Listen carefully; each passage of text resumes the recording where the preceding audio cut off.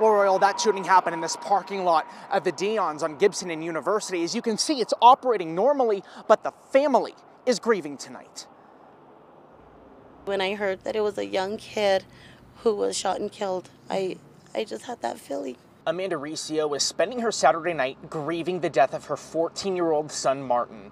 He was with his friends when he was shot, then died at the hospital. And I do not wish any mother to go through any type of horrific, tragic crime and uh, you know act of violence in this in this sort of way. Riccio says she got a bad feeling when her son wasn't getting back to her. Him not returning my call and not being able to get a hold of right away, it's like I just got like a instinct that I thought I knew something wrong, something bad had happened. She says she tried calling his friends, but no answer, then all the law enforcement agencies and all the hospitals in the area. She was told there were unidentified shooting victims.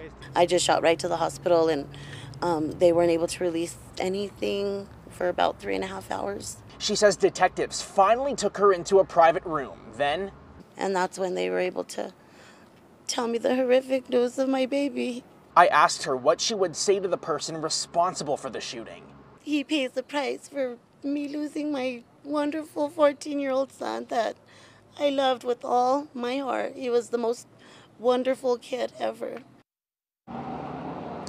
And the Martins family is planning a candlelight vigil for him in his honor tomorrow night. We will keep you updated with the details once we get them. For now, we're live on Gibson and University. Justin Matthews, KOAT, Action 7 News.